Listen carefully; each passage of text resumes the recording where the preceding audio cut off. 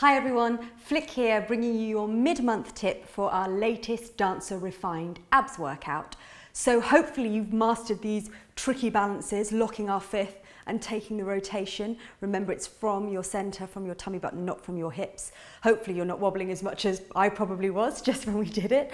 Um, if you want to take this workout up another gear and maybe have a little bit more of a cardio kick, then we can add a little temps levé or a sauté halfway through our final sequence. So rather than stepping up and just finding that join before we step and find the attitude and rotation, can you think about joining the legs together in a little soubresaut? So we step up, lift and step. This is still definitely without the jump. Step up, lift, push off two legs and twist. By doing so, not falling over like I just did, by doing so, you'll take your cardio levels a little bit higher and you'll burn a few more calories while at the same time you're really working into that core. So enjoy doing that and I'll see you in live classes or I'll see you next month. Take care ladies, bye.